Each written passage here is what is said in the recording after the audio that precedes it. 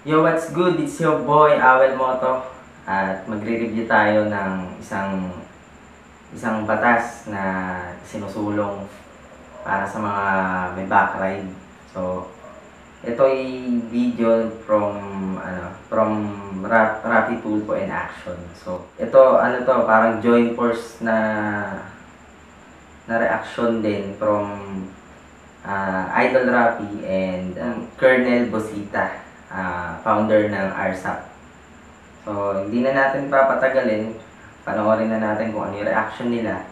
At kung ano rin masasabi natin tungkol dito nga sa pinag-uusapan nila. So, simulan natin. Ito po yung unang tanong. Ah, meron ho bang isa sa inyo na sertipikadong rider o veteranong rider na maraming karanasan sa pagmumotorsiklo? Pangalawang katanungan para sa mga taga-IATF. Kayo po ba ay kumonsulta sa mga eksperto? Halimbawa po sa mga manufacturer ng motor o dili kaya better sa isang aerodynamics engineer? Tungkol po. Aerodynamics Engineer. Yan yung sa sa balanse ng motor pagdating sa hangin, ah, stability ng motor pagdating sa mismong pag-andar sa kalsada, pagsalubong sa hangin, mga impact ng hangin na tinatawag. So, un, yung katanungan ni Sir Rapi dito is kung kumonsulta na ba sa manufacturer, ma, manufacturer ng motor. Oo nga naman kasi ang mga engineer kasi pagdating sa motor, may iba't ibang ano yan, iba't ibang departamento. Isa dyan ang isasablay mo sa design ng engineer ay pwedeng makaapekto sa pagkadisgrasya ng isang rider. So ito malinaw na kaagad to ah, na kung sinangguni mo ba to, 'di ba? Sa tinatawag na ano, na mga expert talaga. Tuloy natin. Doon sa disenyo na inyo pong inilalagay o pinalalagay sa bawat motor. Pangatlo, hindi yung kaya redundant siya yung ginagawa niyo yan. I'll explain why. Una, mahalaga po kasi para maunawaan niyo po yung aerodynamics ng isang motosiklo. Kayo po dyan mga taga-IATF. Dapat nasubukan niyo ang sumakay sa motor. Hindi lamang po minsan, kundi maraming beses, meaning dapat po yan yung pinaka-mode of transportation nyo, going to work and then coming back na-experience nyo po yung tinatawag ng mga turbulence flow, yung mga wind drag, airflow over shape. Kasi Wind drag, yan yung mga pagsalubong ng hangin mula sa iba't ibang anggulo. Kung, yun nga, kung nasubukan ba nila, kasi parang eksperimento yan eh. Kailangan mo munang malaman kung epektibo talaga bago mo i-push o ilabas sa ibang tao. 'Di ba? Kasi kung gumawa ka ng eksperimento tapos i-release mo agad at hindi mo alam yung epekto niya, parang sa gamot lang din. Hindi ka sigurado sa gamot na ginawa mo at nilabas mo siya, eh kung sablay, eh di, eh, di nakamatay, di ba? Parang ganun din. Hindi mo hindi mo inexperiment eh, inexperimentohan mo yung gawa na yun. Tapos hindi mo hindi mo siya tinesting kung epektibo ba. Kung may iba't ibang angulo kasi, kung sa safety, lahat naman kasi for safety, di ba? Yung iniisip. Kaya lang, isang angle lang yung tinignan na for safety. Yung tungkol lang sa, ano, yung tungkol sa pagpasa ng virus. Yung paggamit nga ng barrier. Pero tuloy natin, sige. Tignan natin. kung talagang kayo po ay veteran rider, may experience nyo. Ako nga, hindi pa ako rider, alam ko ito, na kahit na sa isang sasakyan, kotse ka, may dadaan na mabilis ka sa lubong mo, mabilis na truck, yung hangin na iiwanan niya, magigiwang-giwang yung kotse, motor pa kaya. That is without the boundary yet. Now, isipin mo, with that, yung patakaran nyo ngayon, pinapatakaran nyo na magkaroon ng mounted boundary, ano kaya maging resulta noon? At the same time, sana po, bago kayo mag-conceptualize ng isang bagay, dapat po, meron na kayong karanasan tungkol dyan. Ayun na nga. Pag-aaralan ng mga eksperto hindi yung feeling eksperto, di ba? Yung feeling eksperto sa pag-iimbento. Ito kasi sablay talaga rito eh. Ah, kapag yan po ay nabuo na, then huwag niyo po sanang gawin uh, ah, parang ginipig ang ibang tao. Dapat po, kayo muna mag-testing. O i-testing niyo po sa laboratorio. Something like that. Ayun na nga, ayun na nga. Kumbaga, ma-testing muna ng maigi. Napakasimple, di ba? Si Idol Rapi hindi siya, ano, hindi siya rider. Pero yung ganito kasi hindi naman kailangan ng napakatalinong tao. Yun nga, gaya nga na sinabi niya nung una, hindi na natin pinakita. Common sense lang yung gagamitin dito. Tingnan natin. Now, pangalawa doon, sa tanong ko, have you consulted an expert? Kasi nga po, ang motorsiklo, ang pagdisenyo niyan, mula po sa mga manufacturer, from the get-go, except from the start, ang nasa isip po nila na sasakay dyan, rider, and possibly passenger. Yun lang po ang nasa isip nila. Those two lang were considered na bilang passengers ng motor na dinisign nila. Now, meron po kayo nilagay na foreign na bagay dyan. Yun nga po yung plastic. Barrier. Then, you have to go back to the drawing board. Meaning, kailangan pag-aaralan niya ng mga eksperto. Lalo na yung tinatawag na aerodynamics engineer. Ang aerodynamics po, that is the study or science na pinag-aaralan po yung bang how the air in motion would react kapag yun po ay tumama sa isang object. Ganun lang po kasimple yun. So, binago niyo po yung disenyo ng isang motor. Then you have to go back to the drawing board and consult an expert pertaining to that. Pangatlo, redundant. Kasi nga po, sa ngayon, lahat po ng mga nakamotor, ni-require po na naka-face mask at naka-helmet. Same thing with the backlight. Face mask, helmet. So bakit kailangan pa po maglalagay ng divider? Ayun. Pinaka-simple na lang, no? Face mask, helmet, gloves. Tapos, pang-disinfect. Pwede mo namang sprayin yung helmet mo bago mo hubarin o bago mo isuot. Iniisip nila kasi yung talsik nga nung nasa front driver. Papunta sa likod. Naka-helmet ka na nga eh. Daig mo pa nga naka-face shield eh. Di ba? Karamihan naka-face shield. Pag naka-helmet ka, panis yung, fa- yung face shield na yan. Sobrang kulob sa loob ng full face helmet. Kahit nga face helmet lang eh. Pero mas, para sa akin, mas ideal o mas magandang gamitin yung full face. Sobrang, ano, sobrang safe ka talaga. Andun lahat ng safety. O, tuloy natin. For what? O baka naman po ang purpose na paglalagay ng divider para maiwasan pong mag-dismissan yung rider sa backlight para ba? Hello, uh, backlight, ano ba ang almusal mo ngayong umaga? Ano ka mo? Backlight. Ano ba yung inalmusal mo kanina umaga? Nagdali na ngayon dito si backlight. Tuyo at saka sinigang. Ano ba? Ah, medyo sinasarcastic na lang. Nasa isip nyo. Then, tama lang na maglagay ka ng divider. Para sa isip nyo. Para sa inyo. Pero para sa mga taong, sorry ha, nag-iisip, hindi siguro. Maglalagay na lang siguro. Sorry ah, nag-iisip. Ayun na lang. Para sa inyo, kasi hindi naman kayo rider eh. Hindi nyo alam yung ganitong ano. Basta nagbibigay kayo ng batas na gusto nyo lang. Pinag-aralan. Galing, no? Tuloy natin. Bro, na patakaran na bawal ang mga chismos, chismosa kapag sumakay kayo sa motor. I'm just making a joke para naman hindi kayo tugin sa sasabihin ko rito. Baka naman, ang iniisip nila kaya sila naglalagyan ng divider. Kasi yung mga nakamotor po, balot yan eh. Mm. Kung napapansin nyo, lahat po ng mga rider naka-jacket yan.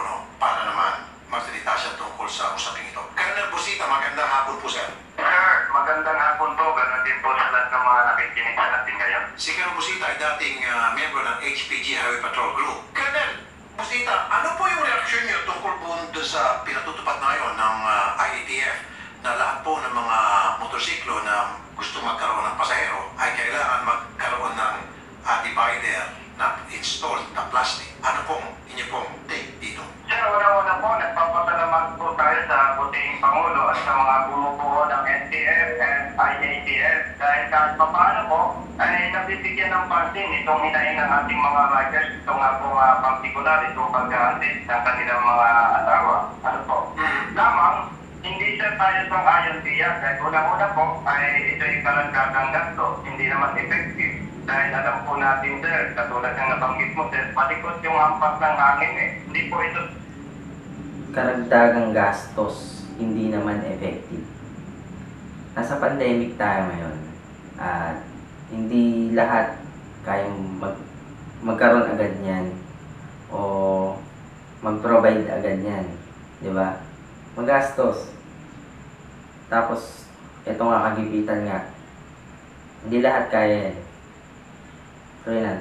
sapat para makontrol yung sinasabing dantik ang laway. Ano po? At uh, ikatlo po na napakalaga dito, ito po ay hindi ligtas para sa ating mga riders. Kung mapapansin po ninyo sir, iilan pa lamang ang napipilitang sumunod dito sa barrier na ito. Pero marami-rami na rin po ang na-aksidente at na-disgrasya. Ibig sabihin pala po, kung ito ay talagang paninindigan ng ating ah, mga may katungkulan, ay tiyak pala po na mas marami pa ang manidisgrasya na Ayun na nga.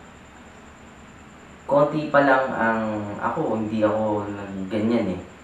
Konti pa lang siguro sa 100% ng rider sa Pinas. Nasa 10% lang o wala pa ang naglalagay ng ganyang barrier. Pero marami agad yung aksidenteng nakitaan natin. At meron pang mga video na napanood ako yung medyo delikado na yung lagay ng back ride dahil nakasandal na sa kanya yung mismong barrier at pwedeng mawala sa balanse sa pagmumotor naman yung rider. Lalo na sa highway sila. Tapos, alam ko sa Commonwealth yun, pagkakaalam ko lang. Yung hampas ng hangin pag may umovertake o may kasalubong na malalaking sasakyan, na mas lalo. Kaya mas malaki yung ah pwede kang madisgrasya talaga.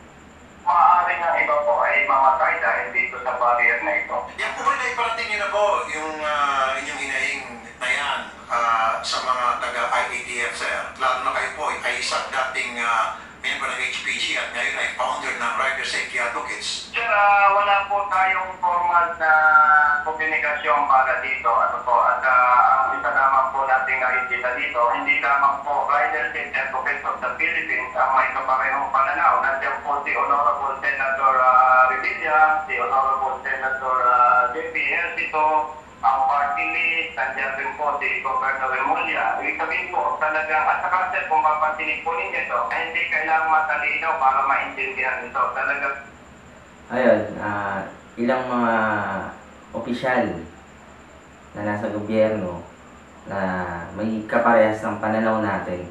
Kasi itong mga nabanggit ni Colonel Bosita ay mga rider din. Alam nila, alam nila yung risk, di ba? Napakasimple lang naman, hindi naman kailangan ng matalinong tao rito. Ang katulad po ng nasabi ninyo sir, yung pong face mask and uh, helmet with visor, sapat na po ito para dito sa usaping ito. Kaya po, hindi ko maintindihan eh. Nandiyan na nga yung face mask, nandiyan pa yung helmet. Ba't kinakailangan pa talaga maglagay ng barrier, sir? Ay, alam nyo sir, alam mo po, every time na may problema, inilalagay ko yung position ko sa kabilang pante. Baka naman may justification. Pero kahit uh, maliit na justification para sa kabilang pante, hindi, wala po tayong makita eh. Una-una sir, parang kahit pokrituhan ito na yung mag-asawa, ipapakita natin sa publiko na may barrier para hindi matalsikan ng laway. Eh ano po ang kaipokrituhan dito? Pag Hipokrito. Napakaganda yung salita. Kasi mag-asawa, mag-asawa, caps lock, para intense. Yun. Mag-asawa nga naman kasi, kahit sa natin tignan, mag-asawa yan, magkasama sa bahay. Kasi hindi. Po ba ng bahay? Ano po ba mangyayari? Gusto. Exactly. Magkasama sila sa bahay, magkasipig. Sabay kumain. Opo. Parang ang nangyayari po ay ito'y isang pagpapahirap lamang sa hanay ng mga riders. At talaga namang kahit maliit na dahilan ay wala tayong makita na may katwiran sila. Okay. Nabasa ko rin po sa isang article na itong si ah, Governor Yap ng Bohol, isa po siya sa mga nagsusulong na magkaroon ng baril. In fact,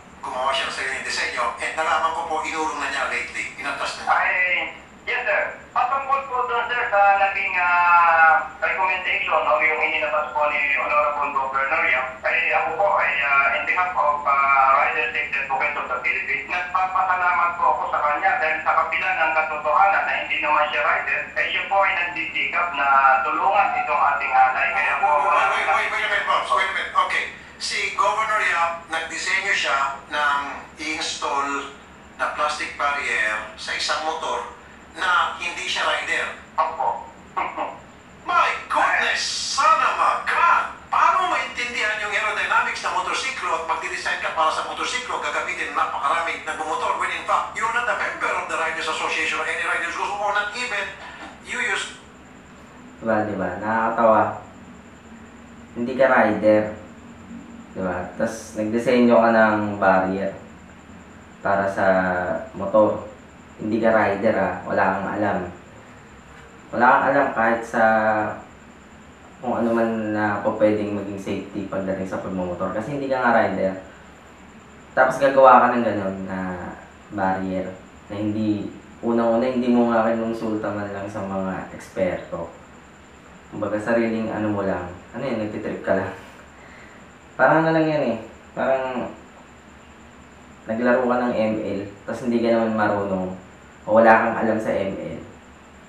Yun, ang resulta nun eh, ikaw yung matatawag na cancer. Parang ganun lang din, no? Parang ganun lang din sa ano, sa pagmumotor o sa pagiging inventor mo, napakalupit mo idol. Tuloy natin. Sir,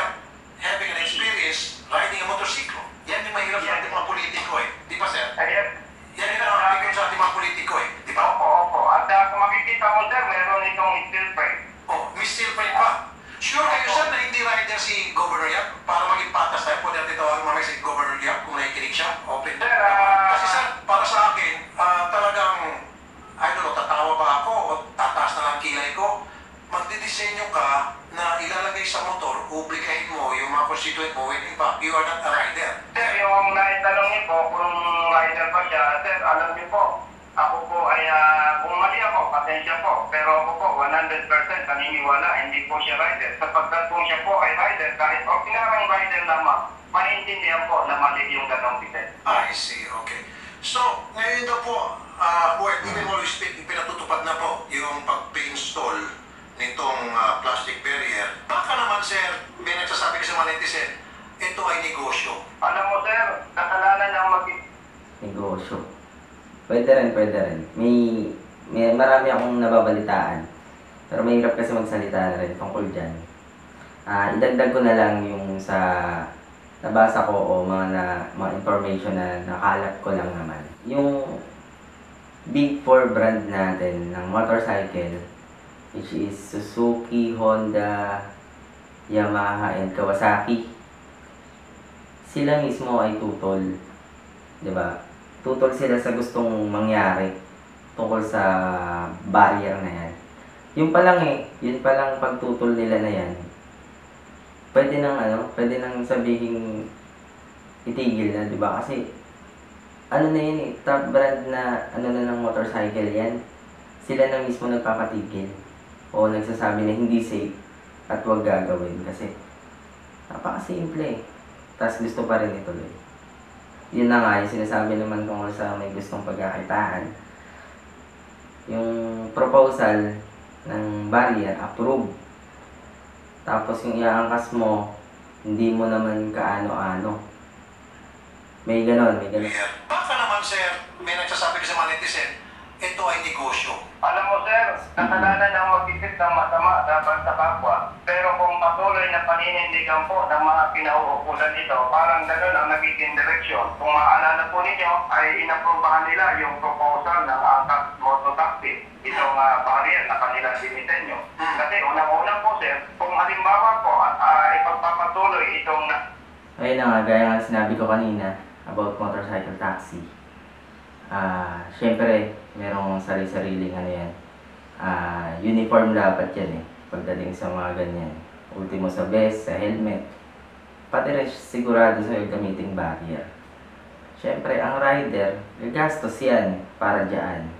Bibili yan. Hindi naman ibibigay lang yan eh. Meron ba na ibibigay lang yan, di ba? Hindi naman. So, isa yun sa punto na pwedeng isipin na yun na nga, pwedeng pagkakitaan lang. Sablay talaga.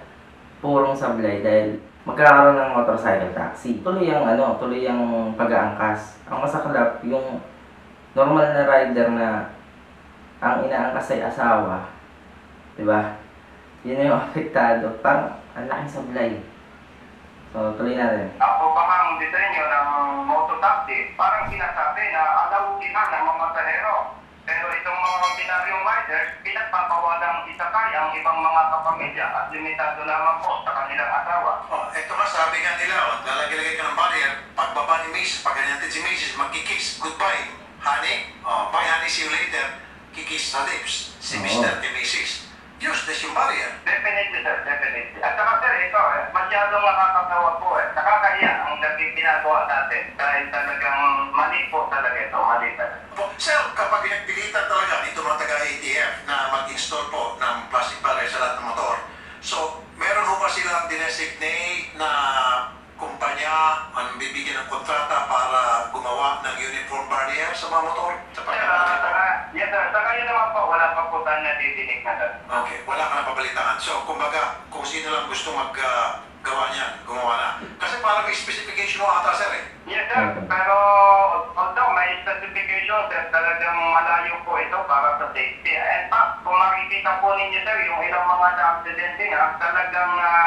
grabe po. Talagang sabi ko nga po, pasensya kung mali ako, parang abnormal na sir kung hindi ka magagalit sa mga pinauukulan. Ayun. Oo nga po, sir. Marami po nagagal. Hindi lang rider ang nagagalit. Mismo kahit hindi mga rider. Kasi, yun na, isip lang naman talaga kailangan eh.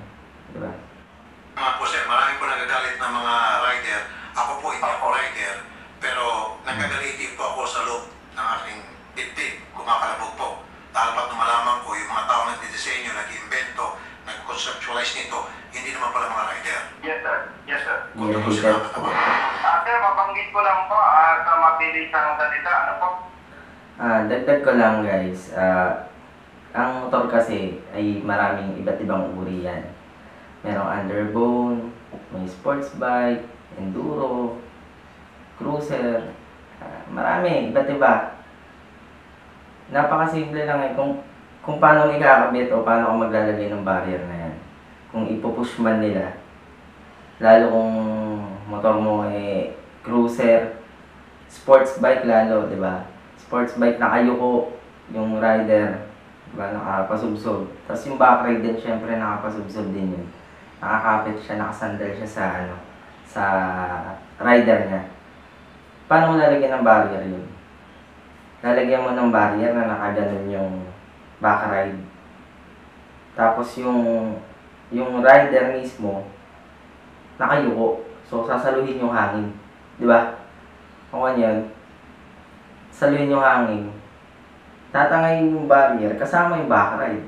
E titilapon out of balance yung rider o baka bigla na lang tumalsik o umano yung back ride niya. Bumalentong pa atras. Ganun lang eh. Tanang bobo.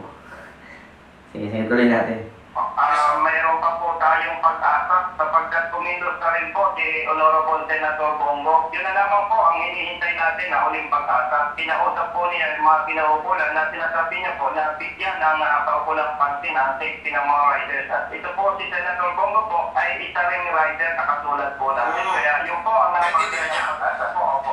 Opo. Sa akin, Ayun, gaya ng sinabi ko, karamihan ng mga mga nasa panig natin or na na didismaya sa batas na yan.